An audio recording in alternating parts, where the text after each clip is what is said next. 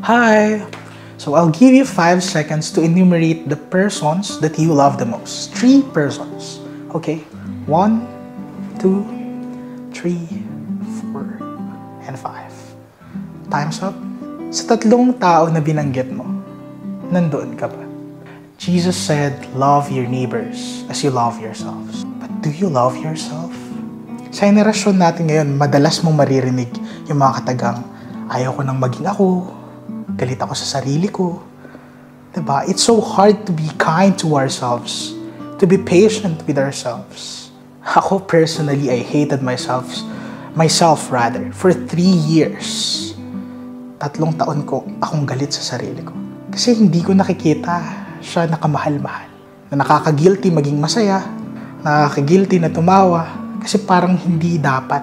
And maybe some of you right now, ganun din yung nararamdaman.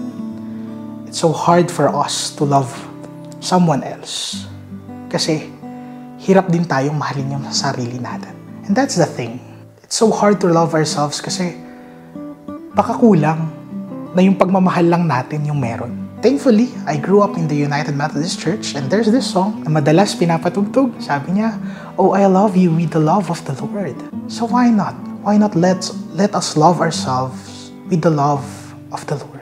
If you cannot see yourself as lovable, as someone na valuable, hindi mo makita sa pamamagitan ng mga mata mo, then try to see the perspective of God. Kasi mahal ka niya. And this Holy Week, ito yung pinaka-proof kung gaano tayo kamahal ng Diyos. Hindi niya lang sinabi, but He acted upon it. He suffered for our sins. He died for our sins. He died for you and me. A sinner, an imperfect being. So maybe, just maybe, try to love yourself with the love of the Lord. Siguro, we can also love our neighbors through that. From there, we can love our neighbors right. We can be patient to them. We can be kind to them. We won't get jealous to their achievements. We can love them truly. Kasi we love ourselves na. Alam na natin kung paano mahalin ang sarili natin. Kaya alam na rin natin kung paano natin mamahalin ang ating mga kapitbahay, ang ating mga kapatid, and even the strangers out there. But if you are a person right now na who's struggling to love yourself, to find value sa sarili mo, I just want to pray for you. Let's pray. Father God Almighty, we are acknowledging your presence right now, God. Panginoon, alam namin na kahit magkalayo kami ng distansya right now, Father, na kahit pagitan ay sa screen, God, na you are here with us, Father. Alam mo yung struggles namin. Alam mo yung hirap namin mahalin yung mga sarili namin hirap kaming mag-find ng kahalagahan sa sarili namin. Parang hindi namin deserve na mahalin yung sarili namin. But Lord, thank you. Kasi pinapaalala mo sa amin na kamahal-mahal kami. Na despite na makasalanan kami, Panginoon, minahal mo kami.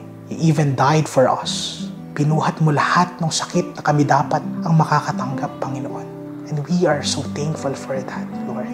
Muli, Panginoon, we're praying, tulungan mo kami na magmahal at mahalin ang sarili namin, Panginoon. Nang sa gayon, matuto kami kung paano dapat ituring at mahalin yung mga neighbors namin, Father.